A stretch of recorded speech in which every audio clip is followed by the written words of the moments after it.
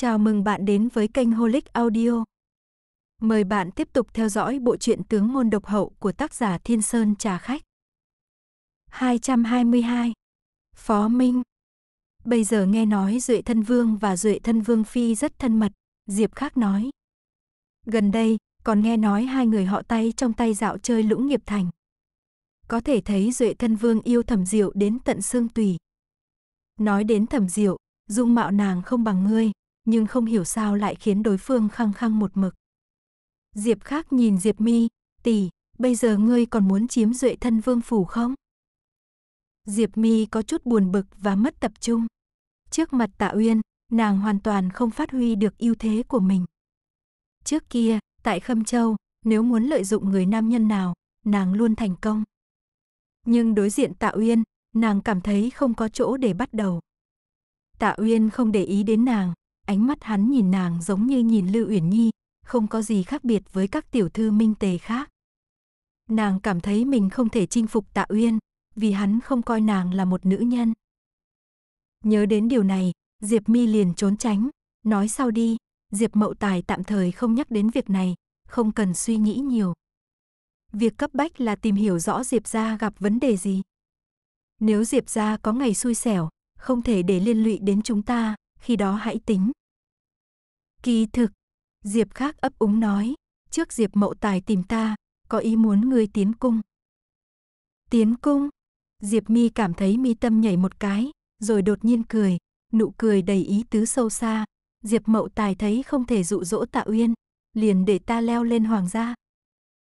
Tiến cung, tất nhiên không phải là chuyện bình thường, mà là trở thành nữ nhân của hoàng đế. Diệp mi cười lạnh, hiện tại hậu cung không còn người có dòng dõi, tất nhiên là có điều kỳ lạ. Ta nếu tiến cung, không có con nối dõi, sau trăm tuổi không có chỗ dựa, nếu hoàng đế băng hà, ta còn phải tuẫn táng theo sao? Diệp Mậu Tài chỉ nghĩ đến việc giao hảo với hoàng gia, không quan tâm đến sống chết của ta, ta sẽ không tiến cung. Để hắn đứt đoạn ý nghĩ này. Lời nói mang theo sự hung tàn. Diệp Mi không phải không nghĩ đến việc tiến cung, nhưng nàng giỏi phân tích lợi và hại. Hoàng đế không có nhi tử, có lẽ vấn đề là ở hoàng đế, không có nhi tử thì nữ nhân trong hậu cung có thể sống được bao lâu? Đừng nói hậu cung, ngay cả trong đại trạch, không có nhi tử thì kết cục hoặc là chết, hoặc là sống an phận. Đó không phải điều Diệp Mi muốn. Nàng muốn trèo lên cao, hưởng thụ quyền lực, những điều này quan trọng hơn việc trở thành nữ nhân của hoàng đế. Diệp khác có chút lúng túng, nói, ta cũng đoán ngươi nghĩ vậy, nên đã nói với Diệp Mậu Tài là không thể. Ồ, Diệp Mi liếc nhìn hắn, nhẹ nhàng nói, ngươi thực sự đã nói vậy với hắn. Diệp khác né tránh ánh mắt Diệp Mi, nói, tỷ, ngươi còn chưa tin ta sao? Diệp Mi nở nụ cười, nụ cười mang nhiều ý nghĩa, dù sao ngươi và ta phải hiểu rõ thân phận mình. Diệp gia không phải nhà thật sự của chúng ta, người Diệp gia không phải người nhà. Chúng ta phải tìm hiểu rõ Diệp gia đang gặp vấn đề gì, nếu một ngày Diệp gia xui xẻo, chúng ta không nên bị liên lụy, toàn thân trở ra mới là thượng sách.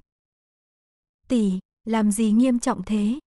Diệp khác không phản đối, nếu thực sự nghiêm trọng như vậy, Diệp gia đã sớm tìm đường lui. Diệp Mi cười lạnh, sợ là Diệp gia cũng không biết tai vạ sắp đến. Đang nói, ngoài cửa có người gọi, đại tỷ tỷ, nhị ca. Diệp khác mở cửa ra, thấy gã sai vặt đẩy Diệp Hồng Quang đứng ngoài. Diệp Mậu Tài khôn khéo nhưng đối với người con què này không tệ, sai người làm ghế đặc biệt để hắn di chuyển trong Diệp phủ. Diệp phu nhân không yêu thích hắn, nhưng Diệp Hồng Quang lại rất thích Diệp Mi và Diệp khác, cảm thấy có huynh đệ tỉ muội thật vui. Hắn tính tình đơn thuần, như trẻ con, không giống người Diệp gia. Nhưng nghĩ lại, hắn không ra ngoài, chỉ chơi cờ và đọc sách, nên tính tình đơn thuần cũng tự nhiên. Diệp Mi cười nói, tam đệ có việc gì sao? Diệp Hồng Quang có ngũ quan tinh xảo, không giống Diệp Mậu Tài hay Diệp Phu Nhân, có lẽ giống người mẹ mất sớm của hắn. Hắn cười nói, cha gọi các ngươi đến thư phòng, ta tiện thể đem chín liên hoàn đến cho đại tỷ tỷ, nghe nói tỷ giỏi giải chín liên hoàn nên mang đến. Diệp Mi nhận chín liên hoàn, nói, khi mở ra xong, ta sẽ tự mình đem trả lại tam đệ. Cảm ơn đại tỷ tỷ. Diệp Hồng Quang hưng phấn nói. Diệp Mi mỉm cười, quay đầu nhìn Diệp khác, cả hai đều thấy ánh mắt nặng trĩu của đối phương. Lúc này, Diệp Mậu Tài gọi hai người vào thư phòng, rõ ràng có việc mới muốn giao. Xem họ như quân cờ, nhưng Diệp Mi và Diệp khác lại không phải là người dễ bị định đoạt. Tất nhiên sẽ là một cuộc giao đấu đầy mưu tính. Việc Tĩnh Phi mang thai nhanh chóng truyền khắp lũng nghiệp. Vĩnh Lạc Đế vô tử nhiều năm, các loại suy đoán nổi lên, nhiều nhất là Vĩnh Lạc Đế có bệnh không thể có con, vì thế trong chiều đấu đá không ngừng. Nhưng Tĩnh Phi mang thai, ý nghĩa nhiều hơn. Có thể không phải Vĩnh Lạc Đế có vấn đề, mà là Vĩnh Lạc Đế cố tình làm vậy. Nay Tĩnh Phi mang thai, điều này càng chứng minh. Triều thần lại muốn đưa nữ nhi vào cung, tranh nhau sinh con, hậu cung sẽ loạn. Thẩm Diệu và Tạ Cảnh Hành nói về việc này, trước hoàng thượng không có hài tử, hậu cung thanh tịnh, ít phân tranh. Nay Tĩnh Phi mang thai, các đại thần muốn đưa nữ nhi tiến cung, tranh nhau sinh con, hậu cung sẽ loạn. Một vũng nước tĩnh đột nhiên bị khuấy động, đó mới đáng sợ. Tạ cảnh hành cười, vậy cũng phải có cơ hội mới được. Vĩnh Lạc Đế cho các nàng uống tránh tử canh, tĩnh phi là ngoại lệ, nhưng vì việc này, sau này cung cấm sẽ càng nghiêm ngặt. Chỉ là lư gia quá nóng vội. Thẩm diệu chống cằm, trong cung chưa truyền ra, họ đã tự truyền. Nay toàn bộ lũng nghiệp đều biết. Ăn mặc càng nhanh chết càng nhanh. Tạ cảnh hành đang mặc ngoại bào, thẩm diệu giúp hắn chỉnh cổ áo. Hắn cúi đầu nhìn nàng, nói, nếu ngươi mang thai con của ta, ta cũng sẽ để mọi người biết. Thẩm diệu lườm hắn một cái, ngươi dám để nữ nhân khác mang thai con của ngươi. Thế nào? Tạ cảnh hành nhíu mày. Thẩm diệu kéo mạnh cổ áo của hắn, hung hăng nói, việc duệ thân vương phủ bị diệt cả nhà, cũng sẽ truyền khắp lũng nghiệp cho mọi người biết.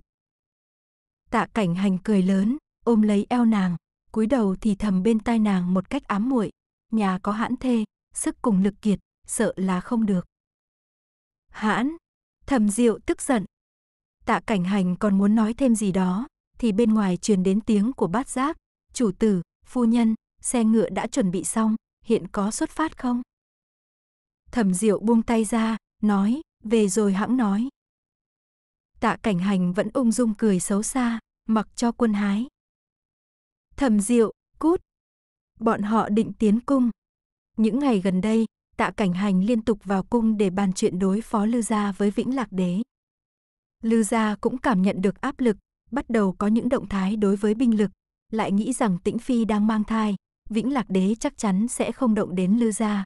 Một bên hoài nghi, một bên tin chắc, Lư Gia tự làm mình hỗn loạn, đúng ý hoàng thất. Các thế lực bắt đầu bố trí, tạ cảnh hành gặp nhiều khó khăn. Thẩm Diệu cũng theo dõi tình hình minh tề và tương lai, đồng thời giúp thẩm gia thoát khỏi sự giám sát của Phó Tu Nghi. Hôm nay, thẩm Diệu dự định vào cung gặp Hiền Đức Hoàng hậu, vừa khéo tạ cảnh hành cũng muốn vào cung, hai vợ chồng liền đồng hành. Vừa đến cung, tạ cảnh hành liền đi thẳng đến ngự thư phòng gặp Vĩnh Lạc Đế, còn thẩm Diệu được đào cô cô dẫn đi gặp Hiền Đức Hoàng hậu. Trên đường đi, thẩm Diệu thấy thảm trải khắp nơi, cung nữ cũng nhiều hơn, liền hỏi có chuyện gì xảy ra. Đào cô cô nói, đây là lệnh của tĩnh phi nương nương, sợ bước đi khẽ đụng tổn thương hài tử trong bụng, nên hầu hạ cung tỳ nhiều hơn rất nhiều. Mấy ngày nay trong cung từ trên xuống dưới đều bị giàn vặt, hoàng hậu nương nương phúc hậu, cũng lười cùng nàng tính toán, nhưng hầu như nàng đã làm hậu cung hỗn loạn cả. Đào cô cô là nữ quan của hiền đức hoàng hậu, nói chuyện không cần bận tâm, lại vì hiền đức hoàng hậu mà xem thẩm diệu là người mình, đối với tĩnh phi không hề che giấu sự căm ghét. Ngược lại cũng không làm gì quá đáng, chỉ là quấy rối vô cùng, khiến lòng người không thoải mái. Thẩm Diệu nhíu mày hỏi, Hoàng thượng thái độ thế nào? Đào cô cô cười quái lạ, Hoàng thượng không vì đứa bé này mà thay đổi thái độ với tĩnh phi, nàng vì vậy sinh hờn dỗi, mới làm ra nhiều trò gian. Nhớ ra điều gì, đào cô cô nói, hôm nay, tiểu thư và thiếu gia Diệp gia cũng tiến cung, tiểu thư còn đến thăm tĩnh phi, khoảng chừng là tại tĩnh hoa cung.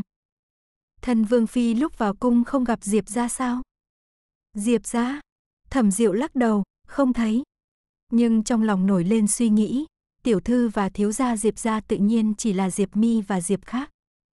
Diệp Mi và Diệp khác đến thăm Tĩnh Phi. Lư gia và Diệp gia vốn không thân mật, tại sao bây giờ lại gặp nhau? Đột nhiên đến thăm, chỉ sợ có dụng ý khác, chẳng lẽ đang chủ tính gì? Nhưng để Diệp Mi nói chuyện với Tĩnh Phi, Tĩnh Phi ngu xuẩn, sao xứng đáng? Diệp gia tìm lộn người rồi. Nàng cảm thấy có điều không đúng, nhưng lúc này đến gặp Hiền Đức Hoàng hậu, không tiện nói nhiều với đào cô cô, mang theo nghi vấn đến ngự hoa viên. Hiền Đức Hoàng hậu không ở vị ương cung, mùa hè đã sắp kết thúc, lũng nghiệp hạ trường, bắt đầu cảm giác mát mẻ. Nóng bức qua đi, hiếm có lúc nhẹ nhàng khoan khoái, ngồi trong hoa viên hóng gió thật tốt. Thẩm Diệu thấy Hiền Đức Hoàng hậu đang pha trà, liền mời nàng cùng thưởng thức. Đây là mùa thu sơn hoàng, trà mới năm nay, bản cung rất thích, ngươi thử xem. Hiền Đức Hoàng hậu cười nói. Bà dường như rất thích uống trà, bản thân cũng như lá trà dài lâu ngào ngạt, là nữ nhân vô cùng có dư vị. Thẩm Diệu nâng chén trà nếm thử, cảm thấy giữa răng môi đều là cay đắng, nhưng trong đó lại có hương vị lâu dài, xác thực là trà ngon đặc biệt. Hiền Đức Hoàng hậu hỏi, thế nào? Thẩm Diệu đặt chén trà xuống, Hoàng hậu nương nương nấu trà cũng là nhất tuyệt. Bản cung không có nhiều ham muốn, chỉ có sở thích này. Hiền Đức Hoàng hậu cười, trà này vị đắng, cô nương trẻ tuổi đại thể không thích, nhưng không hiểu sao, ta cảm giác ngươi sẽ thích. Có lẽ bản cung thấy ngươi giống bản cung đôi chút. Thẩm Diệu không dám nhận, Hiền Đức Hoàng hậu cũng không để tâm, nở nụ cười, không nói chuyện này nữa. Đêm đó ngươi về, cảnh hành có nói với ngươi chuyện trong cung không? Thẩm Diệu hơi sững sờ, nói, có nói một chút. Ngươi sẽ hiếu kỳ, cảnh hành đau tức phụ, tất nhiên sẽ nói hết với ngươi. Hiền Đức Hoàng hậu cười, ngươi sau khi nghe có cảm giác gì? Bây giờ ván cờ này thế nào? Lời này hầu như là thử thẩm diệu. Thẩm diệu không dám hàm hồ, suy nghĩ một chút, rồi nói, bây giờ lư gia kết cục đã chắc chắn, tĩnh phi trong bụng hài tử không thể ngăn cơn sóng dữ. Nếu hoàng thượng và điện hạ đã quyết định, chỉ cần thuận theo dĩ nhiên là được. Đứa bé kia thì sao? Hiền Đức Hoàng hậu nhấp một miếng trà, hỏi, ngươi nghĩ nên giữ hay không? Thẩm Diệu dừng lại, nói, giữ hay không đối với đại cục không ảnh hưởng, làm quyết định này còn phải xem tâm ý của nương nương. Tâm ý của bản cung, Hiền Đức Hoàng hậu khẽ thở dài, trong tâm ý của bản cung, vẫn lấp một cây gai, nhưng nhổ cây gai này, bản cung lại không đủ nhẫn tâm. Bà tự giễu cười, vị trí hoàng hậu này không thích hợp với bản cung. Quen rồi là một chuyện, có thích hợp hay không lại là chuyện khác. Thẩm Diệu im lặng, lúc này, nàng nói gì cũng không đúng. Hiền Đức Hoàng hậu chuyển đề tài, thân vương phi, ngươi làm tốt toàn bộ duệ thân vương phủ nữ chủ tử, không nghi ngờ gì, nhưng nếu tương lai ngươi muốn gánh vác trọng trách lớn hơn, đối mặt phức tạp hơn, ngươi có thể làm tốt không? Thẩm Diệu trong lòng nhảy một cái, hiển Đức Hoàng hậu lời này như ám chỉ gì đó. Nếu là trước đây, Thẩm Diệu sẽ không suy nghĩ nhiều, nhưng Tạ Cảnh Hành đã nói với nàng về Vĩnh Lạc Đế. Nếu Vĩnh Lạc Đế không sống quá 35 tuổi, nếu Vĩnh Lạc Đế còn có dự định khác, Thẩm Diệu gần như ngay lập tức hiểu được tính toán của họ. Nàng lấy lại bình tĩnh, nói, nương nương, chuyện tương lai không ai nói chắc được, chỉ là thần phụ sẽ luôn ở bên điện hạ. Điện hạ làm gì, thần phụ cũng sẽ phụ tá. Hiền Đức Hoàng hậu nhìn nàng một lúc, lắc đầu than thở, ngươi không có dã tâm, điều này rất tốt. Nhưng cũng không hoàn toàn tốt. Nàng nói, chỉ là, cảnh hành không phải hoàng thượng, nên vận may của ngươi rất tốt. Nhưng ngươi phải hiểu, sẽ có một ngày, khi ngươi đến một độ cao nhất định, rất nhiều chuyện sẽ là thân bất do kỳ.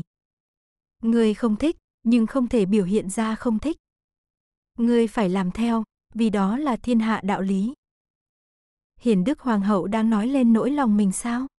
Thẩm Diệu bình tĩnh nói, thần phụ sẽ không làm vậy. Thiên hạ đạo lý lúc đầu được đề ra cũng bị người ta hoài nghi. Nếu không thể kiên trì bản tâm, địa vị cao đến đâu cũng không có ý nghĩa. Thân bất do kỳ, chỉ là vì tự thân không đủ nỗ lực để thay đổi hoàn cảnh xung quanh. Hiền Đức Hoàng hậu nghe vậy, thất thần hồi lâu, rồi sâu sắc nhìn Thẩm Diệu. Cái nhìn ấy phức tạp, Thẩm Diệu cũng không rõ lắm, có lẽ là hâm mộ, còn có chút tự diễu. Nàng nói, có lẽ vậy, ngươi nói rất đúng, nhưng bản cung nửa đời đã qua, muốn thay đổi cũng không còn thời gian. Nàng có chút mệt mỏi, thẩm diệu nhận ra, so với lần trước, hiển đức hoàng hậu trông tang thương hơn nhiều, không phải bên ngoài mà là bên trong. Nàng vẫn tao nhã, tự nhiên, phong thái yểu điệu, có đức hiền của hoàng hậu, chỉ là ánh mắt lại mơ hồ tang thương, như một bà lão. Là vì tĩnh phi sao? Thẩm diệu trong lòng nghĩ, liền hỏi, nghe nói hôm nay Diệp gia tỷ đệ cũng vào cung gặp tĩnh phi. Lư gia ra hỏng loài rồng nương nương, lũng nghiệp tự nhiên đều muốn dục già dục dịch.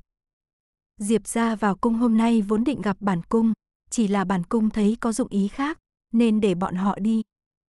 Diệp gia có lẽ thấy Lư Tĩnh đang có thân thể, muốn từ đó mà thăm dò. Hiền Đức Hoàng hậu ánh mắt dài lâu, tiểu thư mới tìm về của Diệp gia, rất xinh đẹp. Không chỉ xinh đẹp, còn thông minh và có dã tâm. Nữ tử như vậy thích hợp nhất để sinh tồn trong hậu cung. Thẩm Diệu ánh mắt hơi chậm lại, Diệp Mi muốn vào cung. Mi phu nhân cuối cùng thành minh tề phó tu nghi hoàng hậu, bây giờ không chỉ thân thế đã đổi thành đại lương người, tương lai cũng muốn đổi sao. Nàng muốn trở thành nữ nhân của Vĩnh Lạc Đế, còn muốn làm đại lương hoàng hậu. Thẩm Diệu cảm thấy hoang đường, lại buồn cười. Khoảng chừng vậy, Hiền Đức Hoàng hậu không để ý nói, nhưng lũng nghiệp hậu cung chỉ còn trên danh nghĩa, Diệp Mi muốn tranh giành tình nhân tranh quyền đoạt lợi, là tính sai. Huống hồ Hoàng thượng không có ý định thu người. Nếu nàng còn có biện pháp khác? Thẩm Diệu hỏi. Diệp Mi lòng dạ độc ác, vì mục đích không chừa thủ đoạn, kiếp trước nàng đã tự mình trải qua, để Diệp Mi tay trắng trở về là không thể. Thẩm Diệu không muốn đánh giá thấp đối thủ, càng không muốn vì mình bất cẩn gây sai lầm lớn. Hiền Đức Hoàng hậu kỳ quái nhìn Thẩm Diệu, ngươi tựa như không thích Diệp gia tiểu thư. Rồi thoải mái nói, quả thật, Diệp Mi tâm thuật bất chính, bản cung cũng nhìn ra. Bản cung ở cung này nhiều năm, Diệp Mi tham dục quá nhiều, ngươi đề phòng nàng cũng tự nhiên. Trước đây hoàng gia săn bắn, bên ngoài đồn đại ngươi vì đố kỵ mà nhằm vào Diệp Mi, bản cung đoán được nàng không đơn giản. Hôm nay gặp mặt, quả thật như vậy. Thẩm Diệu nói, thần phụ thật sự không thích nàng. Vì cảnh hành sao? Hiền Đức Hoàng hậu nháy mắt trêu ghẹo, yên tâm, cảnh hành rất thông minh, không thích nữ nhân càng thông minh. Như Diệp Mi lòng tham lại có dã tâm càng không thích. Thẩm Diệu, lời này như nói nàng rất ngốc. Cảnh hành cùng hoàng thượng thương lượng không cần quá nhiều liên lụy Diệp gia, bản cung đoán trong này có ngươi nguyên nhân. Bản cung không thích Diệp gia, Diệp gia dù là văn thần, nhưng không có khí khái, trái lại khéo đưa đẩy dối trá, ám sinh ý đồ không tốt. Từ trên xuống dưới nhà họ Diệp đều tu bằng môn tà đạo, chỉ là Hiền Đức Hoàng hậu nghĩ tới điều gì, nói, Diệp gia tiểu thiếu gia không tệ, bản cung cùng hắn nói chuyện, như hải đồng thuần chỉ, đáng tiếc không tốt với đi, ở trong phủ cũng không được tôn trọng. Thẩm Diệu cũng từng nghe về Diệp gia người què thiếu gia, không biết phẩm tính ra sao, nghe Hiền Đức Hoàng hậu nói vậy, ngược lại cảm thán. Hiếm thấy người tốt, nhưng vận may quá kém. Hiền Đức Hoàng hậu nói, không lâu nữa, lũng nghiệp thế cuộc sẽ rất hồi hộp. Duệ thân vương phủ cũng sẽ bị nhiều người chú ý, cảnh hành thường ở ngoài, trong vương phủ có chỗ không chu toàn, khó lòng phòng bị. Ngươi phải cẩn thận hơn. Thẩm Diệu nghiêm túc nói, thần phụ rõ. Đối phó Lư Diệp hai nhà, không nghi ngờ là tại Lũng Nghiệp Thành gây ra bão táp, nàng là tạ cảnh hành thê tử, duệ thân vương phủ vương phi, tự nhiên là mục tiêu công kích. Hiền Đức Hoàng hậu vỗ tay nàng, ngươi hiện tại phải bắt đầu học những điều này. Thẩm Diệu đáp lại, đúng lúc đó, Đào cô cô cùng tiểu cung nữ đến. Đào cô cô nói, Huệ Tần cùng Ninh Quý Nhân tại Hoa Tiểu Trúc cãi nhau, hiện không thể tách ra, nương nương có cần đi xem không? Mấy ngày nay Tĩnh Phi mang thai, trong cung nữ quyến bắt đầu dễ kích động. Trước kia đại gia đều không có con nối dõi, nên không sợ hoàng đế sủng ái, bây giờ khác, có một người lên trời, người khác cũng muốn. Người người đều có tư tâm, mâu thuẫn nhiều hơn, thêm nữa nhiều đại thần tặng người cho Vĩnh Lạc Đế, hậu cung thay đổi bình tĩnh, thường xuyên gây nhiễu loạn, tuy không là đại sự, nhưng làm cho người ta ngột ngạt. Hiền Đức Hoàng hậu hiện ra không thích biểu hiện, dù ai tính khí tốt cũng không thể cả ngày phiền phức như vậy. Nương nương đi xem đi. Thẩm Diệu nói, không cần quản ta. Nàng không có ý định theo hiển đức hoàng hậu xem trò vui, lũng nghiệp hậu cung với nàng không có quan hệ gì, không giúp được gì. Hiển đức hoàng hậu bất đắc dĩ, đứng dậy nói, bản cung đi hoa tiểu trúc một chuyến, thân vương phi ở đây nghỉ ngơi uống trà, nếu cảm thấy vô vị, liền đi dạo trong vườn, miễn là không đi xa. Thẩm Diệu bên cạnh có bát giác và hồi hương, đều là người có võ công, nên cũng không e ngại chuyện gì ngoài ý muốn xảy ra. Hơn nữa, trong cung khắp nơi đều có thị vệ, tự nhiên cũng an toàn. Thẩm Diệu đáp lại, Hiển Đức Hoàng hậu cùng đào cô cô rời đi. Nàng nâng chén trà, trong đầu hiện lên lời nói của Hiển Đức Hoàng hậu. Nàng luôn cảm thấy lời nói của Hiển Đức Hoàng hậu có ý tứ sâu xa. Nếu Vĩnh Lạc Đế thật sự không sống lâu, sau khi Vĩnh Lạc Đế qua đời, ai sẽ ngồi trên ngai vàng đại lương? Trước đây Tĩnh Phi chưa mang thai, có lẽ bọn họ không định để dòng dõi Vĩnh Lạc Đế kế thừa đế vị. Hơn nữa, Vĩnh Lạc Đế còn dư độc chưa thanh, sinh ra hài tử cũng có thể kém cỏi, không thể gánh vác đại nghiệp. Nếu như vậy, trong hoàng gia, người có huyết thống và đủ tư cách kế thừa đại lương đế vị, chỉ có tạ cảnh hành. Kiếp trước tạ cảnh hành có làm hoàng đế không? Ít nhất lúc nàng chết, khi Minh Tề diệt vong, Vĩnh Lạc Đế vẫn sống sót, tạ cảnh hành chỉ mang binh giành chính quyền. Như vậy, kiếp này tạ cảnh hành có muốn làm hoàng đế không? Nếu tạ cảnh hành làm hoàng đế, nàng sẽ là hoàng hậu. Từ xưa đến nay, hậu cung không chỉ có một người. Nàng đã nói chắc chắn với hiển đức hoàng hậu, nàng cũng sẽ không khoan dung để phu quân có nữ nhân khác. Một khi khả năng này thành hiện thực, thẩm diệu có thể làm là ngươi vừa vô tâm, ta liền hưu, cùng tạ cảnh hành một đao cắt đứt. Thế nhưng, duyên phận không dễ đến, nàng không muốn chặt đứt mối duyên phu thê hai đời. Trong lòng nàng có chút phiền muộn, đứng dậy, dự định đi tới ven hồ hóng gió, bát giác và hồi hương theo sau nàng. Trong vườn hoa cây cối rậm rạp, tầng tầng thấp thoáng, đường mòn khúc chiết, thông suốt bốn phương, mỗi nơi đều có phong cảnh tươi đẹp, vô cùng phong nhã. Chỉ là thầm diệu không có lòng dạ nào thưởng thức cảnh đẹp. Nàng đi tới ven hồ, gió mát thổi qua mặt, nhẹ nhàng khoan khoái, giúp nàng bình tĩnh lại. Đứng một lúc, nàng dự định trở lại bàn đá ngồi xuống, nghĩ rằng Hiển Đức Hoàng hậu cũng nên trở về. Lúc quay đi, ánh mắt vô tình nhìn vào một góc trong rừng cây. Chính là cái thoáng nhìn đó. Thẩm Diệu đột nhiên dừng bước. Nàng nhìn chằm chằm một bên, cảm thấy toàn thân huyết tự nóng rồi lạnh, toàn bộ hướng về trên đầu, hầu như không đứng vững được. Bát giác và hồi hương cũng căng thẳng nhìn theo, nhưng không thấy gì. Thẩm Diệu đột nhiên đẩy ra rừng cây trước mặt, chạy về phía con đường nhỏ. Phu nhân, bát giác và hồi hương sợ hãi, vội vàng theo sát. Thẩm Diệu chạy nhanh, tóc và xiêm y sượt qua nhánh cây bụi bặm không hề hay biết. Tay nàng kịch liệt run, môi trắng bệch, mắt trợn lớn, không dám thả lỏng chút nào. Nàng đã nhìn thấy, trong rừng cây, chạc cây thấp thoáng một thiếu niên với nụ cười ngại ngùng quen thuộc, đó là Phó Minh. Con trai của nàng, Phó Minh. Sẽ không nhìn lầm, sẽ không nhìn lầm. Thẩm Diệu liều mạng chạy, nhưng ngự hoa viên có bốn thông tám đạo, mỗi đường mòn đều đi về một nơi khác. Cây cối rậm rạp, thiếu niên kia thoáng qua liền mất hút, hầu như làm nàng nghĩ là ảo giác. Phía trước không có đường, chỉ có ám hồ một góc, còn có giả sơn và trường đình. Thẩm Diệu không tìm thấy thiếu niên kia, hồi hương và bát giác theo sau, thấy nàng đứng yên, không biết đang suy nghĩ gì, biểu hiện vô cùng hồn bay phách lạc. Ba người còn chưa có động tĩnh gì khác, lại đột nhiên nghe thấy phía trước truyền đến một tiếng nữ tử ngắn ngủi kêu sợ hãi, tiếp theo là tiếng vật nặng rơi xuống đất. Dầm. Chương 223, Tĩnh Phi. Núi giả phía cuối là một bậc thang dài, giờ phút này phía dưới bậc thang là một nữ tử đang nằm, xung quanh là những vết máu lớn. Thẩm Diệu và hai nha hoàn ngẩn ra, tiến lên xem xét, lại kinh ngạc phát hiện nữ tử kia chính là Tĩnh Phi.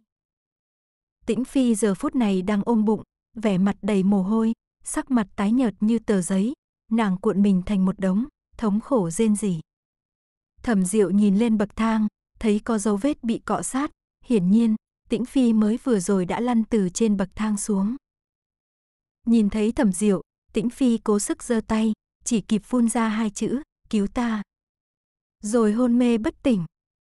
Bát giác hỏi, phu nhân, chúng ta nên làm gì? Gọi người đến đây đi. Thẩm diệu nhíu mày nói, nàng dù sao cũng đang mang long trùng, huống hồ chuyện thấy chết mà không cứu truyền ra, thua thiệt cũng chỉ là duệ thân vương phủ. Nàng tuy không muốn dính vào chuyện bẩn thỉu này, nhưng cũng không muốn duệ thân vương phủ gánh vác ác danh. Bát giác gật đầu, vội vàng đi ra ngoài. Hồi hương nhìn quanh, lắc đầu nói, không có ai ở đây. Đã sớm chạy rồi. Thẩm diệu ngưng mắt, có thể trong cung mà dám làm lớn như vậy, đối phương gan cũng không nhỏ. Nhìn tĩnh phi đang nằm bất động, thẩm diệu thở dài. Nàng đã từng thấy cảnh nữ nhân trong cung sinh non, bộ dạng của tĩnh phi bây giờ, đứa nhỏ trong bụng chắc chắn không giữ được. Thẩm diệu không đồng tình với tĩnh phi, chỉ là tiếc hận cho đứa nhỏ chưa ra đời, nếu không đầu thai vào bụng tĩnh phi, có thể đã không gặp phải số phận như vậy. Nghĩ đến đứa nhỏ, thẩm diệu lại nhớ tới gương mặt thiếu niên trong rừng cây. Trái tim nàng đột nhiên co rút lại, nếu đó thật là Phó Minh, vì sao không muốn gặp nàng? Nếu không là Phó Minh, thì sao lại giống Phó Minh đến vậy? Thẩm Diệu nghĩ, trong cung này lui tới nhân chỉ có bấy nhiêu, chờ chuyện của Tĩnh Phi giải quyết xong, nàng sẽ thỉnh cầu hiển Đức Hoàng hậu hoặc Tạ Cảnh Hành, đem thiếu niên kia tìm ra. Nàng không tin đó là lỗi của mình, nàng rất thanh tỉnh. Bát giác gọi người rất nhanh đã tới, nhìn thấy bộ dạng của Tĩnh Phi đều hoảng sợ. Tuy rằng Vĩnh Lạc Đế không quá để ý đến Tĩnh Phi mang thai, nhưng dù sao nàng cũng đang mang thai đứa nhỏ đầu tiên của Vĩnh Lạc Đế. Với tình hình hiện tại, người sáng suốt đều nhìn ra đứa nhỏ này không giữ được. Không nói nhiều, những người này nhanh chóng đưa Tĩnh Phi về Tĩnh Hoa Cung, thỉnh Thái Y, lại phái người đi thông báo Vĩnh Lạc Đế cùng Hiển Đức Hoàng hậu. Thẩm Diệu là người đầu tiên phát hiện Tĩnh Phi, dù có liên quan hay không, cũng không thể thoát khỏi liên quan, không thể đi. Hồi hương còn có chút bất an, hoàng gia chuyện tình phức tạp, nhất là liên lụy đến Long Trùng, khó nhất là liên lụy Thẩm Diệu vào trong đó. Hồi hương thậm chí hoài nghi đây có phải là một cái âm mưu. Vĩnh Lạc Đế cùng Hiển Đức Hoàng hậu rất nhanh chạy tới, Thẩm Diệu phát hiện Tạ Cảnh Hành không có ở đây, không biết đi đâu. Vốn định cùng hắn nói chuyện Phó Minh, hiện tại cũng đành từ bỏ. Vĩnh Lạc Đế đến hỏi quanh thân nhân, lúc ấy bên cạnh Tĩnh Phi không có cung tỳ nào, nếu không sẽ không để nàng rớt xuống bậc thang mà không ai đỡ, chỉ phải cầu cứu Thẩm Diệu. Hiền Đức Hoàng hậu nhíu mày hỏi, Tĩnh Phi không phải đang cùng Diệp gia tiểu thư ở Tĩnh Hoa cung sao, tại sao lại đi ngự hoa viên? Diệp gia tiểu thư đâu? Không ai hoài nghi đến Thẩm Diệu. Thẩm Diệu có chút ngạc nhiên, còn chưa nói gì, trong phòng đột nhiên truyền đến tiếng kêu sợ hãi ngắn ngủi. Ngay sau đó, từ Tĩnh Hoa cung, vài hầu gái chạy ra, quỳ xuống trước Hiển Đức Hoàng hậu và Vĩnh Lạc đế, dập đầu liên tục. Thái y từ bên trong đi ra, lau mồ hôi, thấp giọng nói, "Hoàng thượng, lão thần vô năng, Tĩnh phi nương nương đã mất." Trong phòng trở nên yên tĩnh. Mất? Hiền Đức Hoàng hậu hỏi, Tĩnh Phi tại sao lại mất? Lão Thái Y khom người nói, Tĩnh Phi nương nương từ khi mang thai đã ngày ngày tiến bổ, thân mình hư nhược, lần này ngày xuất quá nặng, đứa nhỏ không giữ được, Tĩnh Phi nương nương sợ hãi quá độ, mất máu nhiều quá, cho nên. Thẩm Diệu trong lòng nói không nên lời cảm giác gì, Tĩnh Phi tự nhiên là ngu xuẩn, nhưng hôm nay ôm chính mình hoài thượng long trùng là tương lai thái tử mà chết đi, đối nàng có lẽ là đả kích lớn nhất, có lẽ mới là nguyên nhân kinh sợ quá độ, chí mạng. Vĩnh Lạc Đế không biểu lộ cảm xúc, cũng không vì vậy mà thoải mái, cũng không đau xót. Nhưng Hiền Đức Hoàng hậu lại trầm giọng nói, Tĩnh Phi đang êm đẹp tại sao đột nhiên ngã? Cung nữ bên cạnh đâu? Tĩnh Hoa cung cung nữ vội vàng quỳ xuống, nói, nương nương trước đó cùng Diệp gia tiểu thư nói chuyện, bỗng nhiên muốn đi ngự hoa viên, nương nương không cho chúng nô tỳ theo, chúng nô tỳ không dám cãi lời. Sau đó lô gia tiểu thư không trở về, nương nương cũng không trở về, tái kiến nương nương khi đã là thân vương phi đưa về. Cung nữ tĩnh phi tuy nhanh mồm nhanh miệng, nhưng không giấu vết đẩy trách nhiệm. Dù tĩnh phi gặp chuyện không may, nha hoàn bên cạnh cũng không tránh khỏi chịu tội. Hiền Đức Hoàng hậu không nghi ngờ thẩm diệu, lập tức nói, Diệp gia tiểu thư đâu? Người đâu, đi tìm Diệp gia tiểu thư đến đây. Sự việc liên quan đến hoàng tử hoàng tôn, đương nhiên là đại sự, huống hồ lại xảy ra trong hậu cung. Hiền Đức Hoàng hậu là người đứng đầu lục cung, tự nhiên sẽ tra rõ mọi chuyện. Vĩnh Lạc Đế vẫn chưa nói gì, để mặc Hiền Đức Hoàng hậu ra lệnh. Từ lúc sự việc xảy ra đến giờ, hắn không lộ nhiều cảm xúc, khiến người khác khó đoán được tâm tư của hắn. Thẩm Diệu vừa nghĩ đến thời điểm mấu chốt này, Tạ Cảnh Hành lại không biết đi đâu, vừa nghĩ đến khả năng của sự việc. Nếu nói Diệp Mi động thủ giết Tĩnh Phi thì hoàn toàn không có lý do. Nếu Diệp Mi muốn vào cung, đến gặp Tĩnh Phi để thăm dò tin tức, cũng không tất giết nàng. Huống hồ Diệp Mi không phải là người tự mình động thủ, nàng thường sai xử người khác, đến cuối cùng đạt được điều mình muốn mà không bị dính líu. Nếu Diệp Mi thật sự muốn giết Tĩnh Phi, cũng không dùng phương pháp ngu xuẩn như vậy. Ai cũng biết nàng và Tĩnh Phi đang cùng ra ngoài, một khi Tĩnh Phi gặp chuyện, người bị nghi ngờ đầu tiên sẽ là nàng. Điều này làm Thẩm Diệu khó hiểu. Trong Tĩnh Hoa cung, mọi người đều tự suy tư về chuyện này. Không bao lâu sau, phía sau truyền đến tiếng kêu hoảng hốt của nữ tử, Tĩnh Phi nương nương. Thẩm Diệu nhìn lại, thấy Diệp Mi bị vài thị vệ dẫn tới, nàng vẻ mặt bối rối, nhiều hơn là lo lắng và không thể tin. Nàng bước lên hai bước, nhưng bị thị vệ của Hiển Đức Hoàng hậu ngăn lại. Hiển Đức Hoàng hậu nhìn nàng, lạnh lùng nói, Diệp cô nương đi đâu, sao giờ mới tới? Tĩnh Phi trước khi chết đang cùng ngươi đi ngự hoa viên, sao sau đó Tĩnh Phi xảy ra chuyện, ngươi lại không có mặt. Lời này khí thế bức nhân, tựa như khởi binh vấn tội. Hiền Đức Hoàng hậu bình thường trầm ổn ôn hòa, lúc này thần sắc nghiêm nghị, rất có phong phạm của một quốc gia hoàng hậu, khiến Diệp Mi rụt rè hẳn. Thẩm Diệu đứng bên nhìn nàng. Diệp Mi cúi đầu, làm như nhớ lại, nàng nói, thần nữ trước đó cùng Tĩnh Phi nương nương ở Tĩnh Hoa cung nói chuyện, Tĩnh Phi nương nương nói bên ngoài thời tiết mát mẻ, muốn ra ngoài hít thở không khí. Cung nữ muốn theo hầu, nhưng Tĩnh Phi nương nương cho rằng nhiều người không tiện, huống hồ chỉ đi dạo trong ngự hoa viên, không có gì nguy hiểm, có thần nữ ở bên cạnh, không cần đến người khác. Nghe vậy, mọi người trong phòng đều có vẻ mặt khác nhau. Tĩnh Phi vốn tính tình kiêu căng, lại bởi vì mang thai mà càng thêm khó chịu. Có lẽ Tĩnh Phi thấy Diệp Mi xinh đẹp nên không thoải mái, hoặc vì lý do khác, tóm lại là muốn Diệp Mi làm theo ý mình, không kêu cung nữ đi cùng, để làm khó dễ Diệp Mi. Điều này rất phù hợp với tính cách của Tĩnh Phi. Sau đó thần nữ cùng Tĩnh Phi nương nương đi dạo trong vườn hoa, Tĩnh Phi nương nương đột nhiên thấy lạnh, muốn thần nữ đi lấy cho nàng một chiếc áo choàng. Chiếc áo choàng không ở Tĩnh Hoa cung mà ở tiểu trúc của một vị tài tử. Thần nữ không quen thuộc đường trong cung, tìm tiểu trúc mất thời gian, khi lấy được áo choàng trở về, không ngờ đã xảy ra chuyện. Diệp Mi quỳ xuống, nói, thần nữ trước khi rời đi, Tĩnh Phi nương nương vẫn khỏe, không biết đã xảy ra biến cố gì. Nàng chợt nhớ ra điều gì, nói, nương nương nếu không tin, có thể phái người tìm vị tài tử ở Tiểu Trúc để làm chứng, thần nữ khi đó đi lấy áo choàng.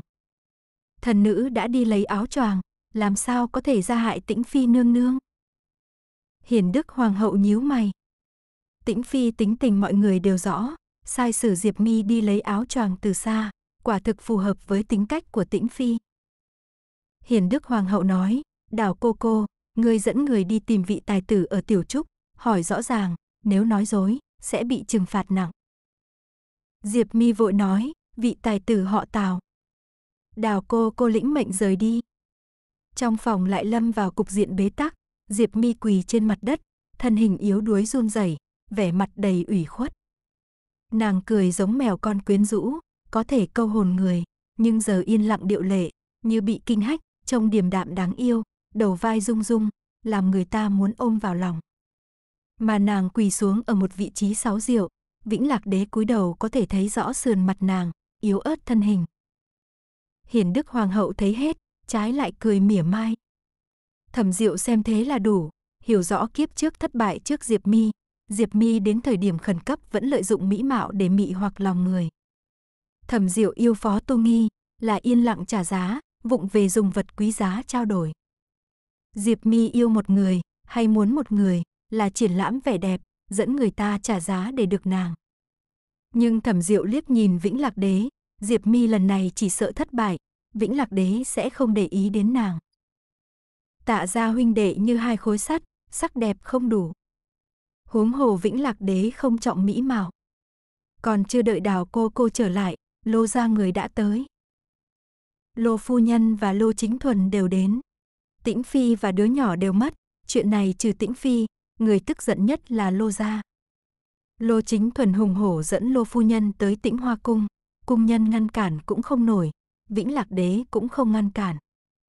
Lô phu nhân vừa vào liền ngồi xuống đất khóc, vừa khóc vừa than thở số phận nữ nhi. Thẩm diệu như xem kịch, nhìn lô phu nhân làm vẻ ta đây, nếu thật lòng đau lòng nữ nhi, sao không vào xem thi thể tĩnh phi, thấy mặt con lần cuối, mà lại trước mặt đế hậu khóc thảm. Chỉ sợ đau lòng nữ nhi là giả, đau lòng long trùng mới là thật. Lô chính thuần sinh ra đã hung thần ác sát, lúc này mặt hung dữ, đúng như ác quỷ, khiến người ta cảm thấy, nếu không phải trước mắt không đúng, hắn là ngay cả hành thích vua cũng làm được. Hắn nói, Hoàng thượng, Tĩnh Nhi cùng Long Trùng đều bị hại, việc này không nhỏ, thần mong bệ hạ săn sóc ái nữ của thần, cho thần một cái công đạo.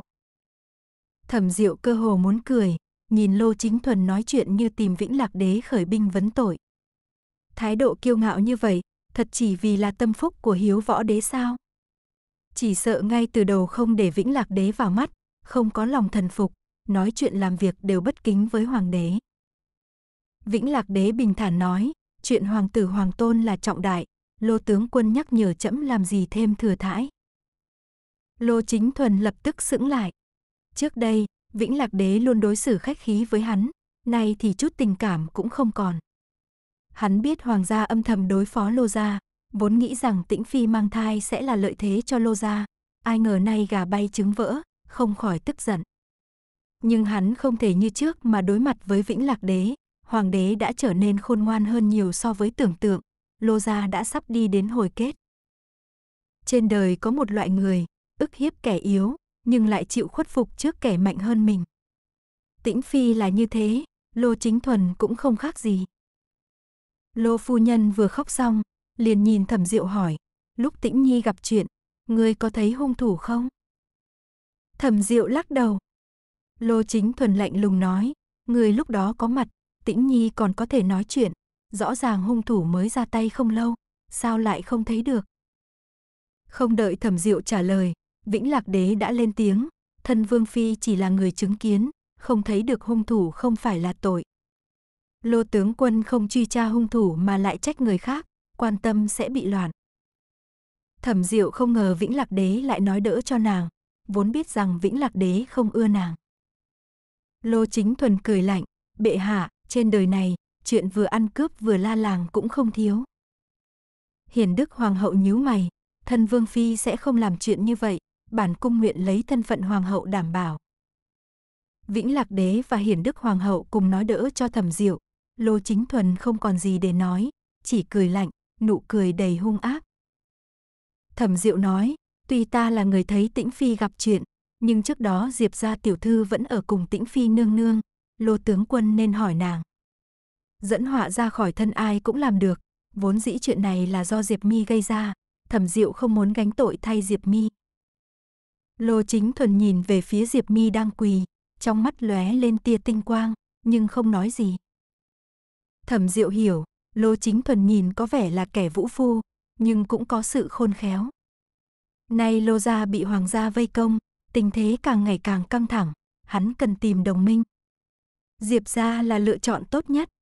Nhưng Diệp Mậu còn khôn khéo hơn hắn, Diệp gia đến giờ vẫn chưa quyết định đứng về phe nào.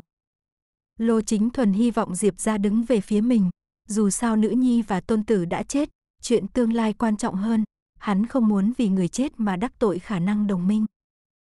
Ở trung tâm quyền lực, ngay cả con cái cũng có thể hy sinh. Con trai còn có thể được quan tâm một chút, còn nữ nhi thì hầu như không cần quản, đều là người khác gia nhân. Thẩm Diệu nghĩ vậy, thấy một thị vệ tiến vào, đi thẳng tới trước mặt Vĩnh Lạc Đế, nói, Hoàng thượng, có người nói đã thấy được hung thủ đẩy tĩnh phi nương nương xuống bậc thang. Lời này vừa nói ra, tất cả mọi người đều kinh ngạc, Vĩnh Lạc Đế và Hiển Đức Hoàng hậu chưa kịp nói gì, Lô Chính Thuần đã vội hỏi, là ai? Người đó có thể nói hung thủ là ai? Lô phu nhân cũng vội vàng chắp tay, đau đớn nói, thương thiên có linh, cuối cùng cũng tìm được kẻ hại tĩnh nhi. Người đó phải đền mạng. Lô gia này làm vẻ thật sự khoa trương, vĩnh lạc đế lạnh nhạt nói, mang vào. Thẩm diệu theo bản năng nhìn về phía Diệp mi. Diệp mi quỳ trên mặt đất, lưng hơi cong, vẻ mặt ủy khuất và luống cuống, nhưng thẩm diệu chú ý đến tay nàng, ngón tay của nàng giấu dưới tay áo dài, nhưng ngón cái và ngón trỏ nắm thành một vòng tròn, vuốt nhẹ. Thẩm Diệu đã giao đấu với Mi phu nhân cả đời, biết rõ từng cử chỉ của nàng. Động tác này là khi Diệp Mi đang tính kế ai đó, mục đích sắp đạt thành. Thẩm Diệu trong lòng nhảy dựng, người làm chứng có thể là trong kế hoạch của Diệp Mi. Mục đích của nàng sẽ đạt được sao? Hay Tĩnh Phi chết thật sự liên quan đến Diệp Mi? Ngay sau đó, ngoài phòng truyền đến tiếng động, như là bánh xe di chuyển trên mặt đất, Thẩm Diệu nheo mắt nhìn về phía cửa. Một hầu gái đang phụ giúp ai đó tiến vào. Người đó ngồi trên một chiếc ghế có bánh xe, đầu gối có một chiếc thảm, hai tay đặt trên đầu gối. Hắn không thể tự di chuyển, nhưng chiếc ghế có bánh xe được nha hoàn đẩy nhẹ nhàng. Đến gần liền thấy rõ, người đó khoảng 11 tuổi, khuôn mặt tinh xảo thanh tú, là một thiếu niên, mặc áo choàng màu ngà, trông có chút ngại ngùng thẹn thùng, ánh mắt lại lộ ra tia kinh hoàng. Thẩm Diệu đứng sững, như bị biến thành tượng đá. Mắt nàng ngập tràn nước, suýt nữa rơi xuống. Phó Minh. Thời gian như quay lại, nàng cơ hồ muốn xuyên qua thiếu niên ngồi trên xe lăn kia, nhìn thấy thiếu niên trong cung, mặc áo choàng màu vàng, tay cầm nhành mai đỏ, hướng nàng cười chi kỷ, nói, mẫu hậu, nhi thần thấy hoa mai trong sân đã nở, đem một nhành tặng mẫu hậu, nhìn thấy sẽ làm mẫu hậu vui, bệnh cũng sẽ mau khỏi. Hắn nói, tỷ tỷ đã mất, nhi thần sẽ luôn ở bên mẫu hậu. Hắn nói, mẫu hậu yên tâm, nhi thần sẽ học tốt với thái phó, sau này trở nên mạnh mẽ, không ai dám khi dễ mẫu hậu nữa. Hiện tại, thiếu niên tinh xảo xinh đẹp được phụ giúp đến trước mặt Diệp Mi, nhỏ giọng kêu, đại tỷ tỷ. Thẩm Diệu trừng lớn hai mắt. Hắn là Diệp gia thiếu gia, con của tiểu thiếp được ghi danh dưới danh nghĩa Diệp phu nhân, Diệp Hồng Quang.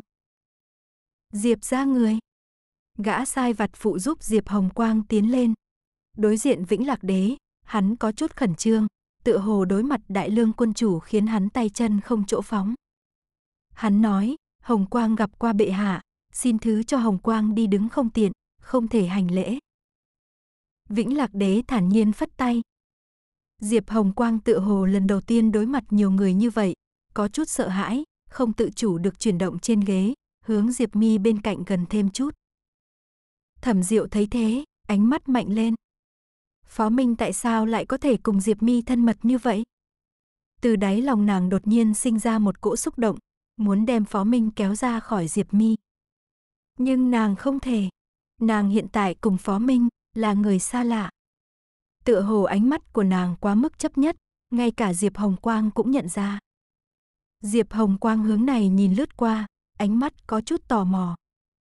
Nhìn thấy thẩm diệu chăm chú theo dõi hắn, liền lại cúi đầu, bất an vuốt ve thảm trên đầu gối. Diệp thiếu gia, lô chính thuần nhướng mày, hỏi, ngươi thấy được hung thủ hại tĩnh nhi.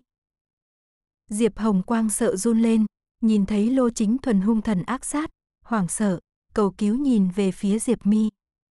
Hắn mỗi khi dùng ánh mắt ỉ lại nhìn Diệp Mi, thẩm diệu đều cảm thấy tim như bị đau cắt. Hiền Đức Hoàng hậu vẻ mặt ôn hòa nói, Hồng Quang, ngươi nói ngươi thấy được người đẩy tĩnh phi, là thật sao? Hiền Đức Hoàng hậu tự hồ có ấn tượng tốt với Diệp Hồng Quang, nói chuyện cũng ôn hòa hơn nhiều.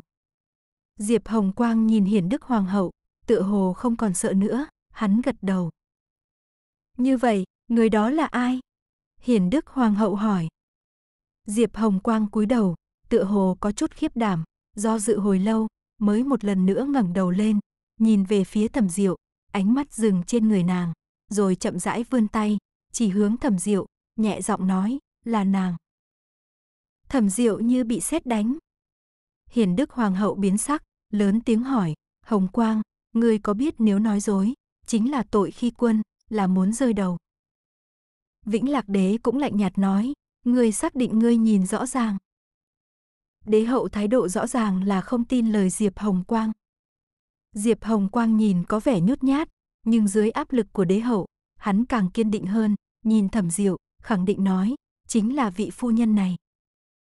Thẩm diệu lảo đảo một bước, không dám tin vào tai mình. Vị phu nhân này, phó minh thế nhưng gọi nàng là vị phu nhân này. Con trai của nàng nay ở bên cửu nhân, giúp đỡ cửu nhân chỉ chứng nàng. Thật vô lý. Hành động của nàng bị người ngoài nhìn vào lại như xác nhận nàng có tội. Lô chính thuần nhíu mày, không nói hai lời liền hướng thẩm diệu xông tới, muốn vượt qua mọi người để bắt nàng. Bát giác cùng hồi hương lập tức bảo vệ thẩm diệu. Không ai ngờ lô chính thuần lại đột nhiên động thủ, thị vệ vội vàng bảo vệ hiển đức hoàng hậu cùng vĩnh lạc đế, vĩnh lạc đế quát, lô chính thuần, người ở tĩnh hoa cung động thủ, là muốn phản sao.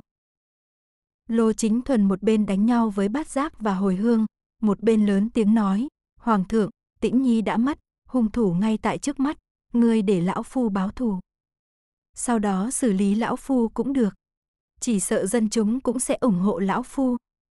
Lô chính thuần thật sự càn quấy, vĩnh lạc đế tức giận sắc mặt xanh mét.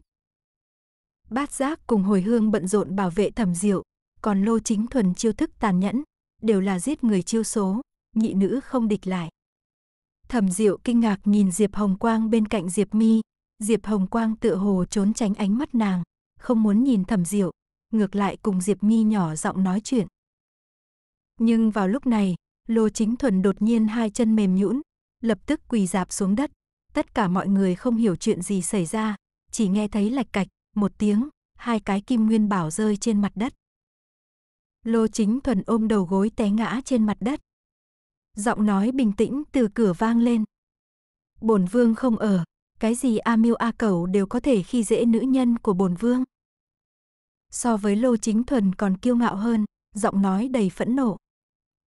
Chỉ thấy tạ cảnh hành xuất hiện ở cửa, trong tay còn cầm một quả kim nguyên bảo, hiển nhiên mới vừa rồi hắn dùng để đả thương Lô Chính Thuần đầu gối. Hắn sải bước đến bên thẩm diệu, nhìn thấy vẻ mặt tái nhợt của nàng, nghĩ nàng bị kinh hách, càng thêm tức giận, xoay người nhìn Lô Chính Thuần đang được thủ hạ nâng dậy, hờ hững mở miệng, "Lô lão gia, ngươi là có bất mãn gì với bổn vương?" Hắn dung mạo tuấn mỹ, ngữ khí bình tĩnh, lại làm người ta lưng phát lạnh. Lô Chính Thuần không cam lòng yếu thế, mặc dù tức giận Tạ Cảnh Hành làm hắn xấu mặt, nhưng cũng không buông tha. Hắn nói, Tĩnh Nhi bị hại. Diệp gia thiếu gia tận mắt chứng kiến, chính là Thẩm Diệu làm lão phu báo thù cho nữ nhi, thiên kinh địa nghĩa. Diệp gia thiếu gia, tạ cảnh hành ánh mắt quét qua phòng, dừng lại trên Diệp Hồng Quang. Hắn chậm rãi đến gần Diệp Hồng Quang, nhìn xuống đối phương. Tạ cảnh hành thân hình đã đủ áp lực, Diệp Hồng Quang bị hắn nhìn chằm chằm, không tự nhiên trốn tránh ánh mắt. Tạ cảnh hành cười lạnh, ngươi thế nào thấy nàng giết người? Không đợi Diệp Hồng Quang trả lời, Tạ cảnh hành thản nhiên nói, ngươi thế nào thấy, ta liền đem ngươi thế nào thấy ánh mắt đào ra. Phần này đến đây là hết. Mời các bạn theo dõi tiếp các video khác trên kênh. Nếu các bạn yêu thích kênh, hãy nhấn theo dõi nhé. Cảm ơn các bạn.